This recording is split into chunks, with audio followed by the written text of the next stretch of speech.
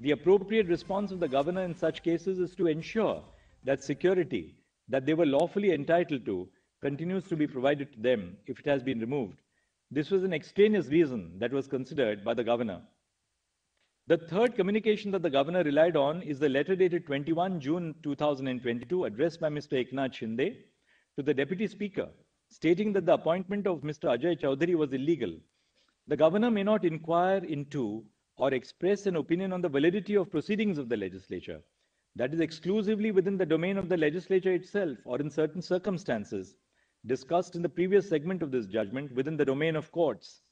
The discretionary power of the governor under Article 163 of the Constitution is limited to situations where a constitutional provision expressly provides it or where the Constitution cannot be construed otherwise than to grant such discretion. Hence, the governor ought not to have relied on the letter dated 21 June 2022.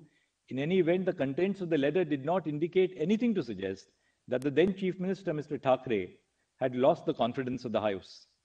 Finally, the governor relied on the letters written by Mr. Fadnavis and seven independent MLAs, calling upon him to direct Mr. Thackeray to prove his majority on the floor of the House.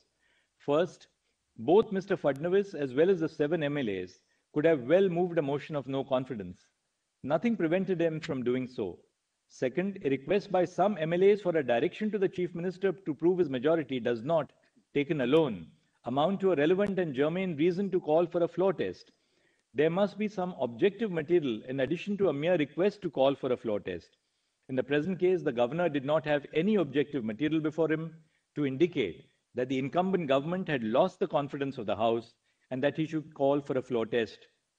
And the exercise of discretion by the governor in this case was not in accordance with law. Now, on relief. Relying on Bommai and Nabam Rebia, the petitioners argue that this court has the power to restore the status quo ante and rule that the government with Mr. Thackeray as its chief minister is to be reinstated. However, this argument does not account for the fact that Mr. Thackeray did not face the floor test on 30 June 2022 and submitted his resignation. This cannot, this court cannot quash a resignation that has been submitted voluntarily. Had Mr. Thackeray refrained from resigning from the post of the chief minister, this court could have considered the grant of the remedy of reinstating the government headed by him. The order of this court dated 29 June 2022 held that the outcome of the trust vote to be conducted on 30 June 2022 shall be subject to the final outcome of this batch of petitions.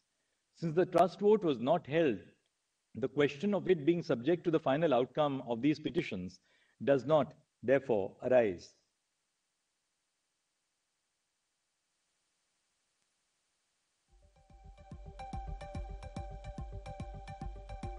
Conclusions. खबर इस वक्त की हम आपको बता In रहे view of हैं the discussion about पहले the सुन लेते following are our conclusions. A. The correctness of the decision in Nabam Rebia is referred to a larger bench of seven judges. B. This court cannot ordinarily adjudicate petitions for disqualification under the 10th schedule in the first instance. There are no extraordinary circumstances in the instant case that warrant the exercise of jurisdiction by this court to adjudicate the disqualification petitions the Speaker must decide the disqualification petitions within a reasonable period. C. An MLA has the right to participate in the proceedings of the House regardless of the pendency of any petitions for their disqualification.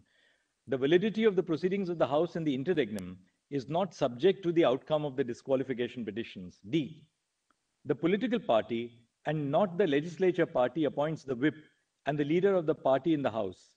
Further, the direction to vote in a particular matter or, sorry, further, the direction to vote in a particular manner or to abstain from voting is issued by the political party and not the legislature party. The decision of the Speaker, as communicated by the Deputy Secretary to the Maharashtra Legislative Assembly dated 3 July 2022, is contrary to law. The Speaker shall recognize the whip and the leader who are duly authorized by the Shiv Sena political party with reference to the provisions of the party constitution after conducting an inquiry in this regard and in keeping with the principles discussed in this judgment. E. The Speaker and the Election Commission of India are empowered to concurrently adjudicate on the petitions before them under the 10th schedule and under paragraph 15 of the symbols order respectively. F.